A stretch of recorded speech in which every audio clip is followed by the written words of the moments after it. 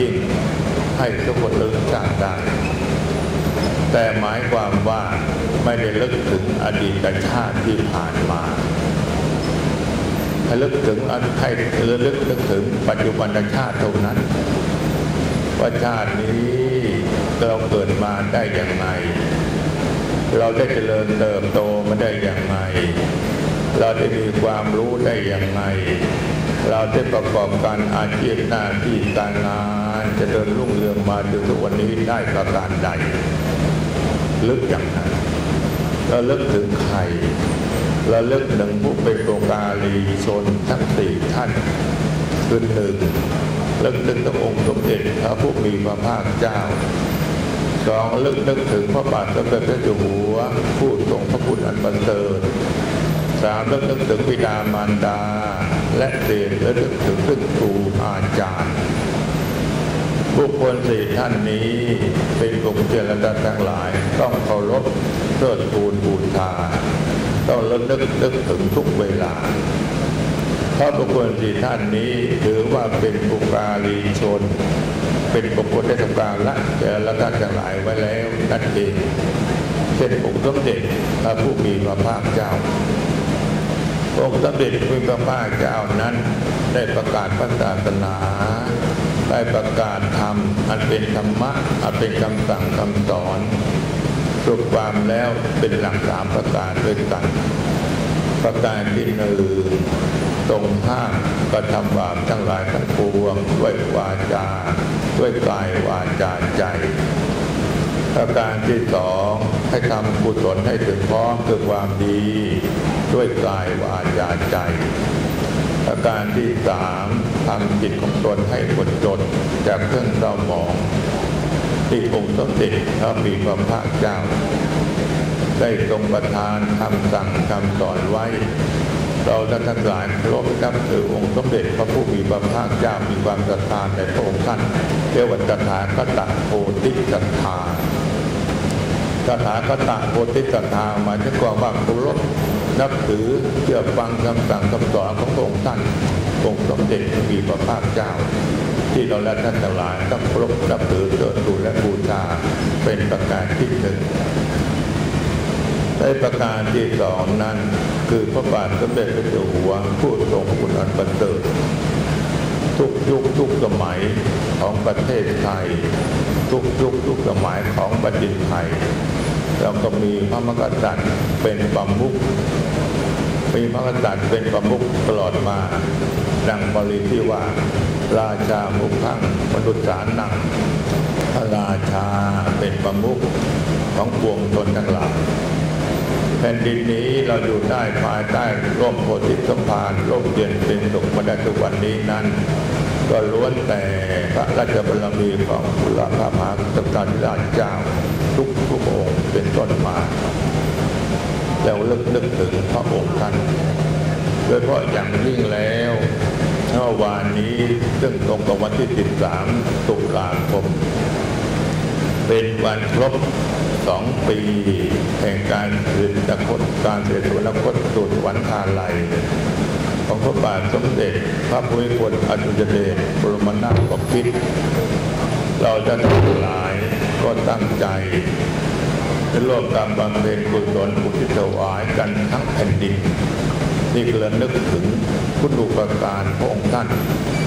ด้วยจิตสำนึกในพระมหากรุณาธิคุณหาที่สุดไม่ได้ แต่ด้วยความจงรักภักดี ประการที่สามบุคคลที่เราต้องเลิกนึกถึงก็คือผู้เป็นบิดามารดา หรือว่าพ่อแม่ทำไมต้องนึกถึงผู้เป็นบิดามารดาถึงพ่อแม่ เพราะท่านให้สิ่งสำคัญแก่เรามาหนึ่งให้ชีวิตสองให้การเลี้ยงดูามให้การศึกษา และสี่ให้ทรัพย์มรดกเพราะนั้นผู้เป็นบิดามารดาหรือพ่อแม่นี้เราต้องลึกนึกถึงอยู่ประจำถ้าไม่มีท่านแล้ว เราก็คงไม่มีวันนี้ เรามีวันนี้ได้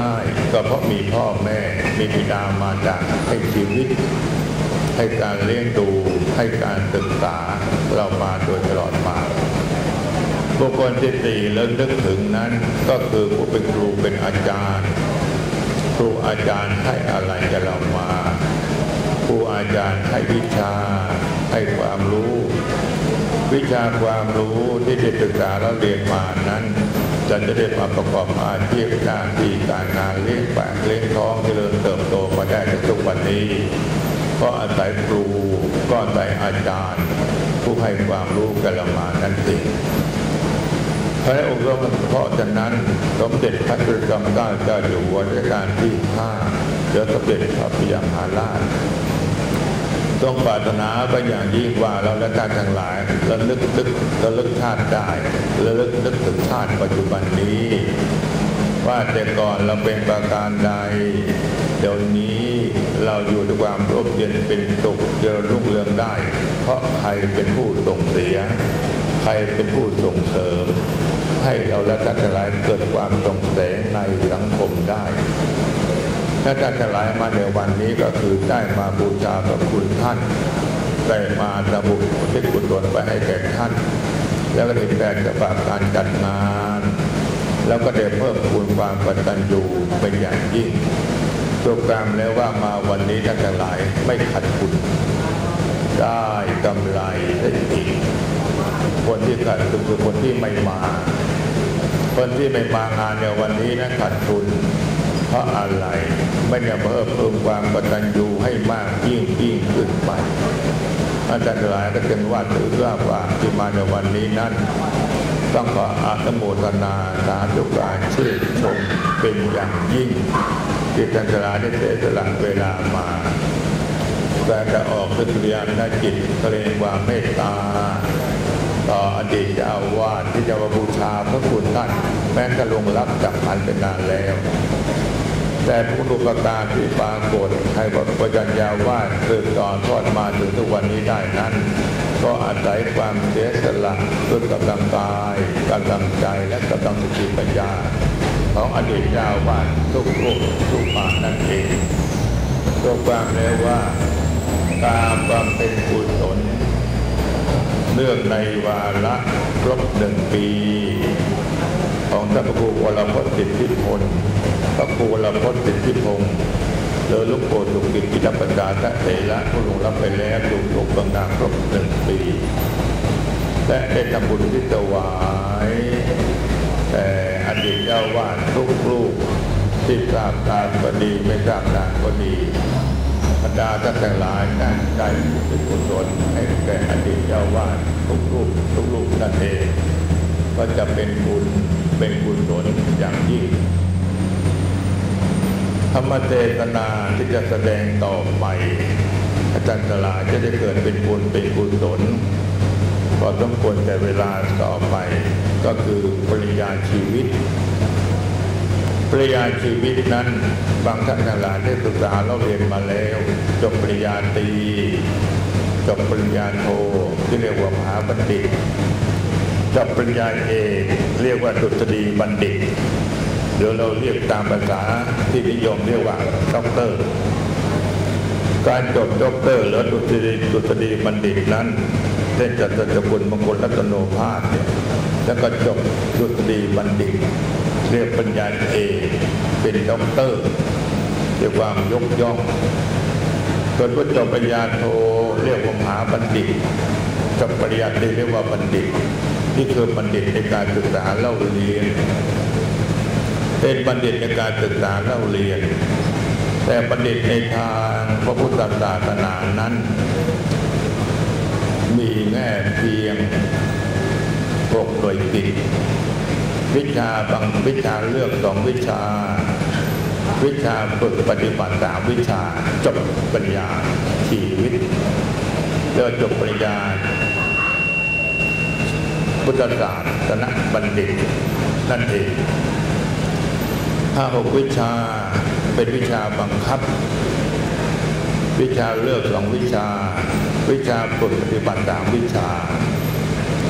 วิชาบังคับหกวิชาก็คือหนึ่งวิชาเกิด